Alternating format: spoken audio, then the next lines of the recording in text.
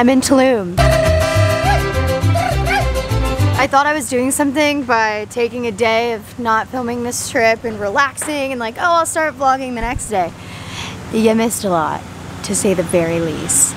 But we're here, okay? We're here for a wedding, one of our friends' wedding, but like a lit wedding, not a boring wedding. And uh, let's get into it. Just got to the hotel, don't know what to expect, never been to Tulum before.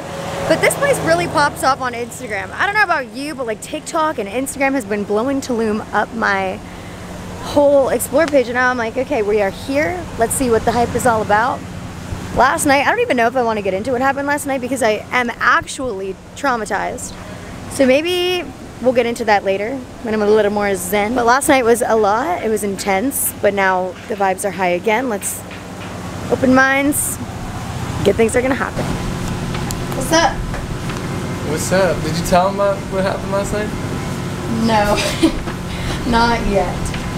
We can story time later. I will say something that I love about Henny and I is when we are on vacation mode, we fully commit to the bit.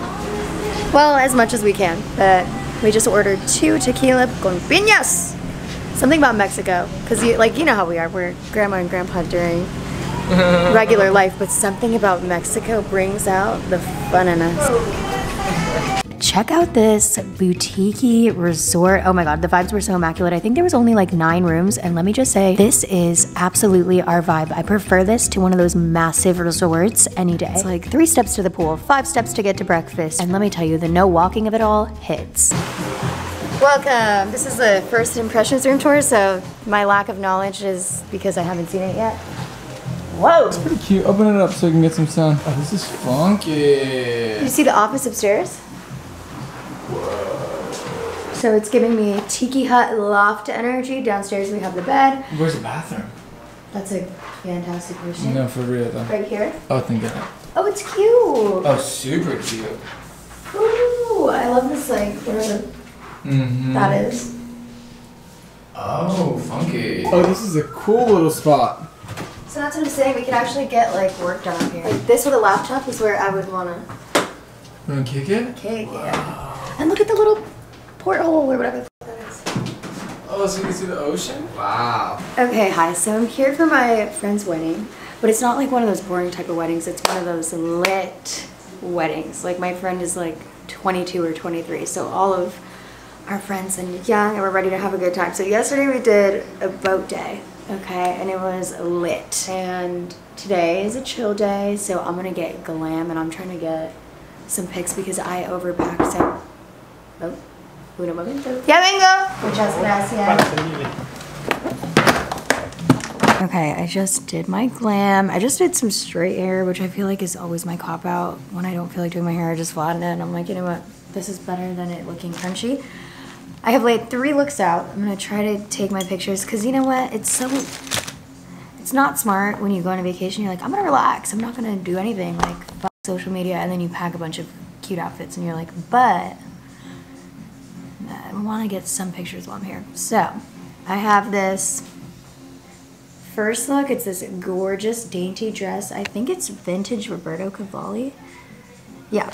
And the detail is gonna be like hair in a clip, some gold accessories, white little pumps, and this glass purse, which is everything. I had to pack this in bubble wrap so it wouldn't break.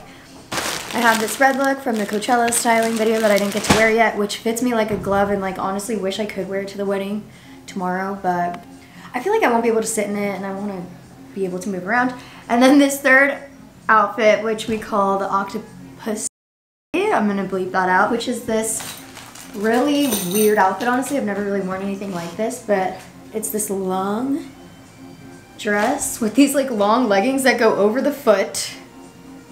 With some like little clear heels and some accessories. So the outfits are fun. I'm gonna try to get some cute ones. Uh, yeah. So um, about what happened last night. Henny and I are on the balcony of our hotel room. So the last hotel we stayed in, I'll insert some pics. The last hotel we just stayed in was super cute. It was like treehouse vibes, adorable. Nat is the one who chose where we were gonna stay. She did all the research and like according to her, this was the safest spot to stay. Okay. And it's also where all the fun action is. It's on Party Row or whatever it's called. I think it's literally called Party Row. So she says this is the safest place to stay, and we're like, bet. So we stay there. And granted, this is not cheap. I feel like Tulum, for whatever reason, I was under the impression that things would be cheaper here when I looked at people going on Instagram all the time and like seeing all these amazing spots. I'm like, fire, this seems like a cool vacation spot that you can get some great, good value on. No, it's actually fucking expensive. Anyways, we're staying at this expensive ass fucking hotel, and at 1201, 12, 1220 a.m., I'm sitting outside on the porch with Henny on a hammock having a stupid ass argument, and all of a sudden we hear right there. So I run inside because we're in the middle of a, you know, I don't want to get demonetized. And the type that it was is like, okay, so we all know what MGK stands for. It was an MG. And I've never been so close to that in my life. Why are you looking at me like I'm thwarting? What's MGK stand for? Machine Gun Kelly. It was a fucking machine gun. It wasn't like a little like pew, pew, pew. It was one going like. It was so fucking scary. So I thought we were under attack, and Henny's panicking. We don't know what to do. I was panicking? You weren't like, oh, no big deal. This is fun. You were like, oh shit. Well, yeah, why would I? I don't want to be a part of that. So it was terrifying. I ran to the bathroom and I'm like, we should have never came here. Like, so stupid. Whatever. Um, and yeah, and then we went to sleep and I was fucking terrified the whole night because how do you sleep after that drama? So it was right outside of our hotel, literally right outside. For you to leave the hotel, we were there. I was there like 10 minutes ago, 15 minutes before that happened. I walked back with some tacos. It's just weird. Just kind of, it's weird to keep going with their little like Tulum vacation. It was just a weird moment. Because, I mean, I've never been that close to that before. Henny One- hasn't. Not one- Brian. One guy died. He got killed. Yeah, literally. Like a guy got killed and two other people got hurt apparently. And then you're just like, okay, let's just Let's just continue Instagram on. story, like yeah, Like nothing I'm in happened. Tulum, and it's just like, yo, what? It's, it's weird. So yeah, we're trying to like shake off those vibes. Literally in the morning, this morning, our hotel was putting like lighting sage everywhere, like blowing sage everywhere, like for la mala vibras. It's a good thing we left that hotel. I was over yesterday. I was like, I need to go home. We need to go home. I'm done. Yeah, I'm just like, what am I? What am I? Doing What are we doing here? In Well, the I- forest, in the beach, like. Defenseless, nothing we could do, not a single weapon. Honestly, could have used this. Is it glass? Boom. Yeah. So that's what happened last night. That's a story time, y'all. Expensive as hell.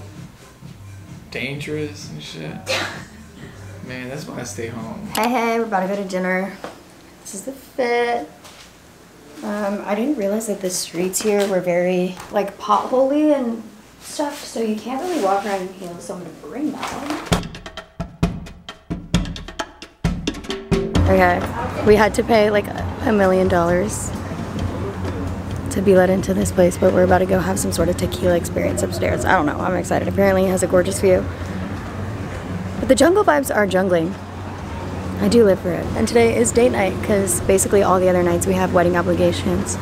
So tonight's the one night that we can enjoy some alone time and do some like romantic shit. So that's tonight. And hopefully this is cute because we just paid $89 a person to get in. And I'm like, what?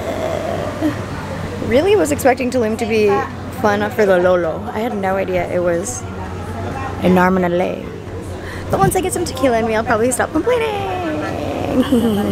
Anyways. Okay, this is Azulik. Not my underwear hanging out of the back of my skirt. Anyways. Honestly, I have never been to a place like this in my life. Whenever you think of Tulum or you think of the TikToks, I feel like this resort is the blueprint for that because they kind of invented this aesthetic and like most of the Tulum content you see tends to be this place. So the vibes are super tree housey. I've honestly never seen anything like this in my life. So I do understand the expensive cover charge because it's giving very much tourist attraction and not in a shady way, but more of like they know you're gonna come and get your iconic Instagram pictures type of way. I will say not everybody there was like vibing and the atmosphere wasn't super party like. It was giving a little bit of photo moment. Also, those little bird nest looking things over there, those are tables at the restaurant. So you can literally reserve that and eat your dinner in a bird bird's nest in the top of the jungle on the beach. Oh my god, I changed my shoes. Yes, okay, so obviously was not gonna walk on the scary bridge in my heels, but I did change into them to get my little flicks. What I will say is everybody there was taking so many Instagram pictures. It felt like a metaverse moment, not gonna lie.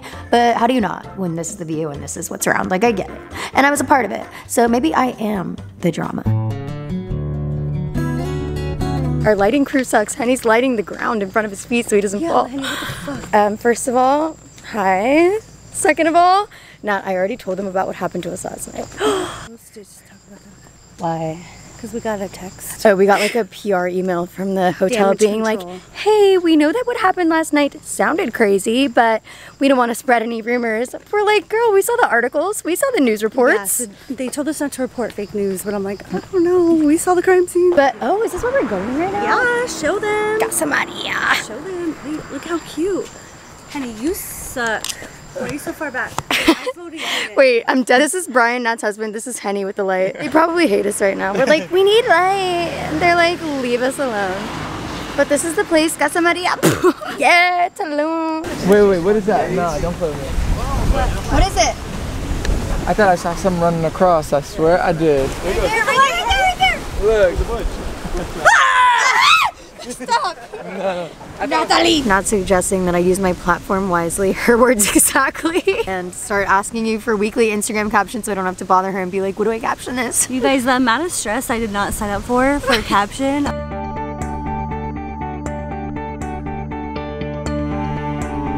Anyways, we're at this other bar. I had to just bust out my fucking Spanish skills and beg them to take my drink back because I said to make me like a slightly spicy drink. I guess I didn't say slightly. And it was just spicy as fuck. You thinking that anyone can see you right now is so funny. This, this it's it's all black.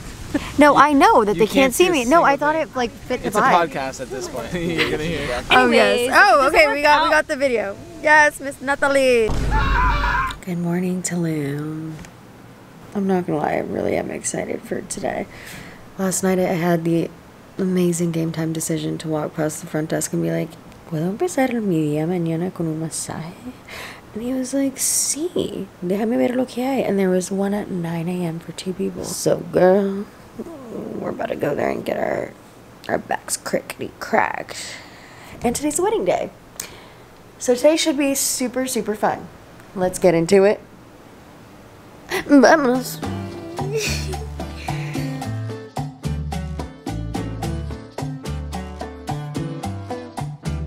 Oh, the big boy.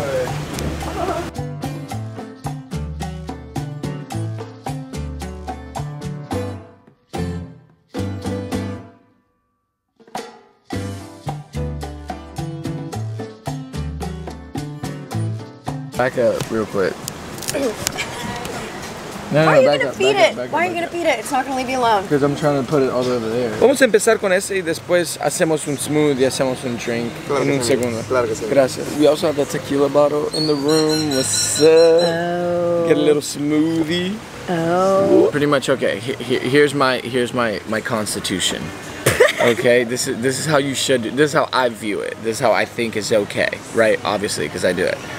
You can bring, you can get a bottle of alcohol to your own hotel. It What feels he's like a saying lot. is you can spike your drinks with your own alcohol. You can if spike you're your doing drinks it with- at the hotel you're staying That at. you're saying it, right? I was gonna get there. I, I was, I was, I was, I was just warming up. I don't take it to another hotel. Like if I go to another hotel, I think that starts a little. I'm not gonna be in the water bottle, you know. I'm not gonna be pouring. I think that's like a little too much. your own drink at another hotel gives ratchet. But if you do it at your own hotel, what if I'm gonna be at the hotel? I'm really gonna pay twenty dollars a cocktail, and we're just gonna be chilling here all day. Nope. Or did I already pay the daily rate, which allows me to bring to have my own room, and thus, right? Use I have my own own supply. room, so therefore I'm living here. So if I'm living here, how am I not gonna pour my own tequila that I bought from the grocery store? It seems all right to me. I think it's totally. I think I think it's fine. It.